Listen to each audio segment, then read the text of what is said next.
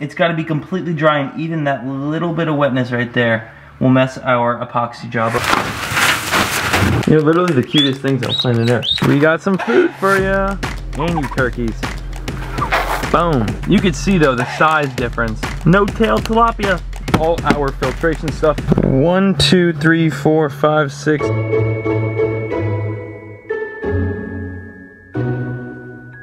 What is going on, Crows? Welcome back to another video. The lighting is beautiful right now. Like, let's do a little photo shoot real quick with the lighting. They are so adorable. How did I get these things? I'll show you now. Enjoy today's video. Boom. We got, uh, more baby ducklings. One of my buddies dropped off some baby ducklings, which I'll show you them in just a second. You know, we've pretty much grown all the ducks out there by the duck pond inside this patio right here. At the front door of my house, they all grow up in here until they're big enough to get out there. Boom, bowl goes right there.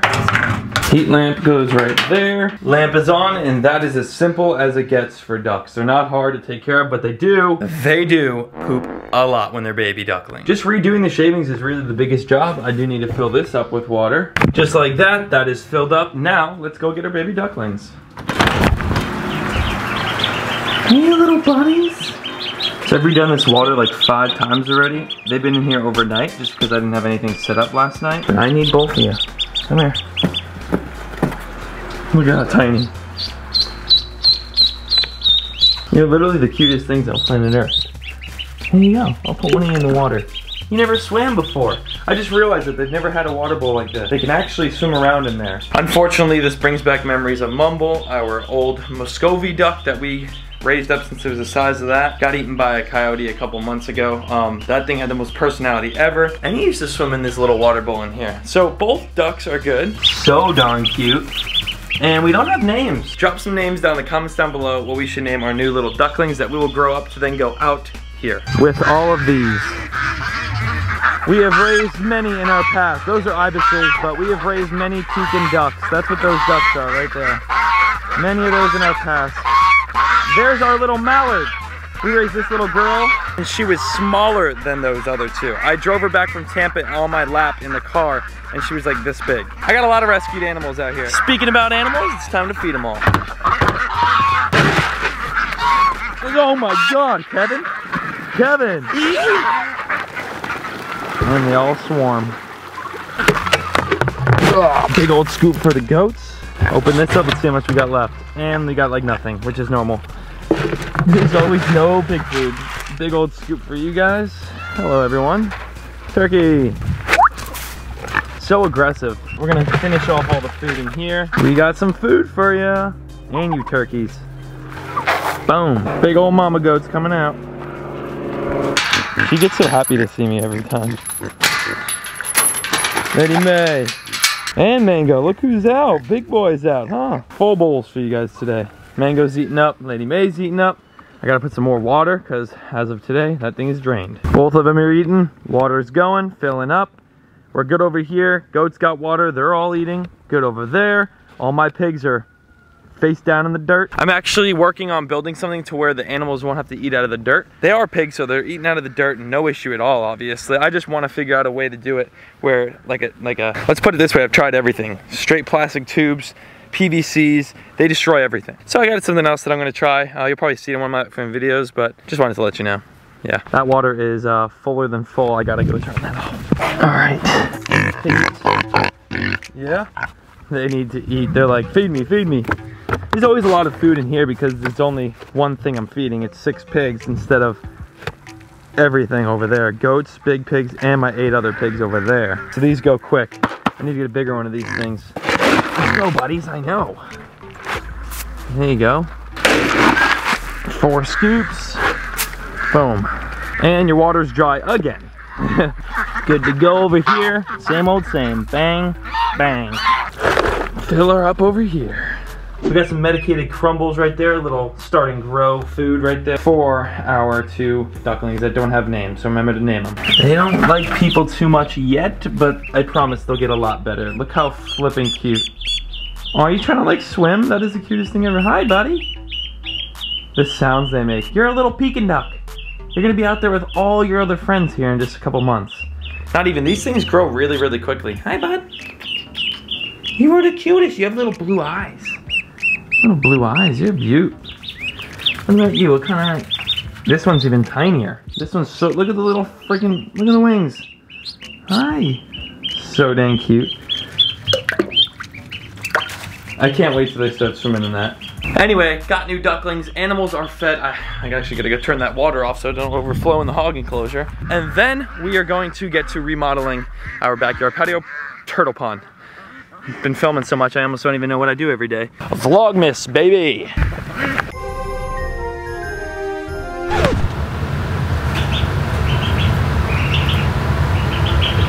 I see them eating. They don't know I'm watching. All right, I have been cleaning up this patio for God knows how long. It's been a while just to clear the space enough so I can get this pool pond right here. It's draining water right now. But just to get that right here, because this is where I want it to be. I'll be honest with you, I don't even want that thing. Birds get into this thing left and right. I have a really bad issue with a blue heron here at my house. Very, like, extremely bad. If you've been watching the channel for a while, you've seen me throw some clips in there when I catch them. Catch them in the act of eating everything I own. Oh, if you guys haven't uh, watched last video, we received all our filtration stuff. This is our filter right here. Look how big it is, the 20,000 right there. Let me give you a good look at it right quick. Boom, baby. Massive, massive, massive filter. We're not gonna have any issues with water clarity anymore. All this here is media, and then we have valves and filter pump and UV filter, and much, much more going into this project right here. We're actually sucking it dry. Last night we couldn't do the epoxy due to the fact that it's gotta be completely dry, and even that little bit of wetness right there will mess our epoxy job up. So we gotta put a fan on it tonight and then tomorrow will be the day. This is gonna be worth the wait though, I promise. Like, it's gonna be the most epic thing ever. We have jets already waiting to be plugged in and pushing water circulation around, including the amount of force our filter is gonna be pumping. Anyway, back to this. We don't have as many turtles as we initially had. Who could have guessed? I already knew. Like I mentioned, we've put koi fish in the front pond like six different times every time they've been eaten, so we just completely stopped that a couple months ago. I've had some turtles get eaten out of this. I'm definitely not gonna have any issues with this because of the depth. And not many issues with this because it's, once again, deep. The bird can't really, but I've seen them sitting right here, right there. There's poop on my roof, as a matter of fact. See all that stuff up there?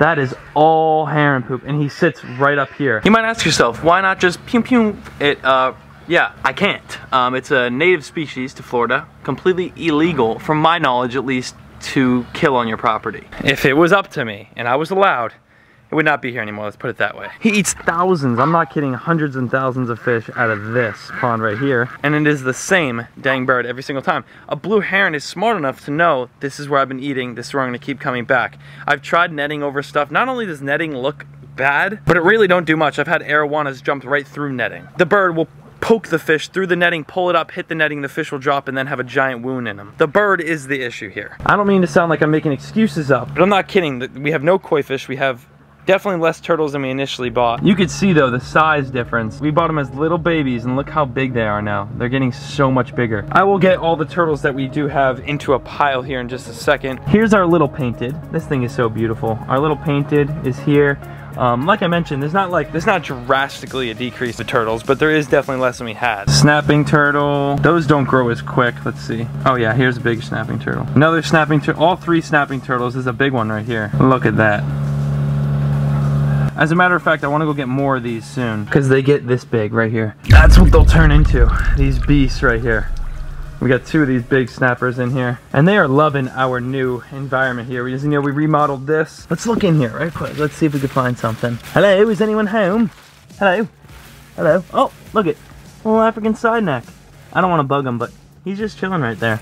He loves to bury himself this is going to be filterized with the filter that runs this, so keep in mind this will be crystal clear. For now, it's just sitting there. All right, I think we got everything we need to say about this dumb bird. Their diet, too, is drastic. They eat everything. These blue herons just destroy. I have had some incidents in the past with these little pool ponds when it rains. It doesn't have an overflow, meaning like a hole like this. See that hole right there that'll pour out and the one I have over there so that the turtles can't just crawl out. I've learned from my experiences in the past of turtles escaping. I found one of my snapping turtles months later inside my pool skimmer. That was a crazy video. Bottom line is everyone learns from things and I've learned to hate blue herons. That's what I've learned from this. I can't do anything. I've called FWC. They either don't answer, throw me to voicemail, or give me no pure information on what I'm legally allowed to do. So at this point, I'm just stuck and I just gotta keep an eye out. We have this bowl here, and I'm gonna see how many turtles we've got. So let's start with our little snapping. There's a little snapper. Yellow belly, we have lots of yellow bellies. Yellow belly, yellow belly, yellow belly. this is so funny. Yellow belly, yellow belly. Snapping, snapping. Look at them all. It's so cute. A little painted right here. One, two, three, four, five, six, seven, eight, nine, 10. I believe we were supposed to have like 16, uh, 14, 16. So we're missing like four turtles in total. Oh, the soft shell. Boom, it's got a little bit of algae on the bottom, but this is completely cleaned out. We have, not completely cleaned out, the algae is still there. As you can see, it's very slippery. Got all of our, we have lots of mollies, as you know. Mollies and platies in here mixed in. And then where's our little, here is our little no-tail tilapia. We still got him, he's still growing. That guy is such a stud, my favorite. I casted him in that pond over there a while back when I was about to feed the fish. And I thought to myself, there's no way I could feed this little tiny tilapia with no tail to these fish. So I just threw him in this when the turtles were in it and he grew up in there. So today we're just gonna remodel this thing, make it look good, fill it up with some water, get the filter going again, and this will be flowing. I wish these turtles were just a little bit bigger so we could just throw them into here and they'll do, they probably would do fine in here. Those snapping turtles are just a little bit concerning, especially with the mollies, they'll just go crazy on them. I mean, it's just it's just risky, risky business doing that, so I don't think I'm gonna do that, but without further ado, let's let's remodel this thing, make it look super cool so that our turtles could have a new, fresh home.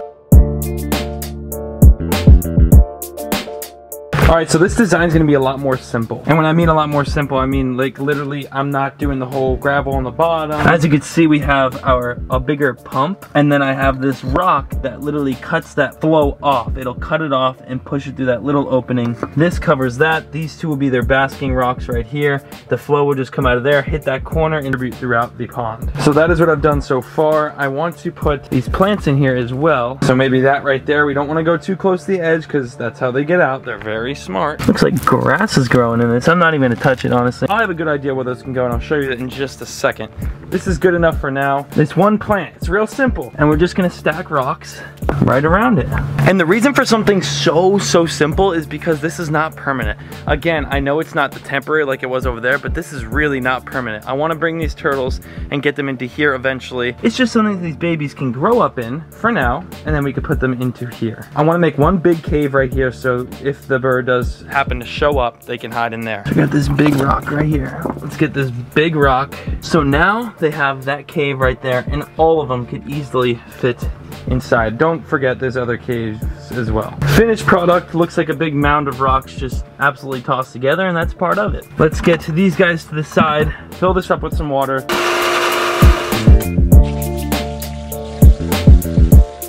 These two plants right here, I have plants for. There's tilapia skidding off the bank already. Remember I put a couple in here? I'm gonna set them just like this.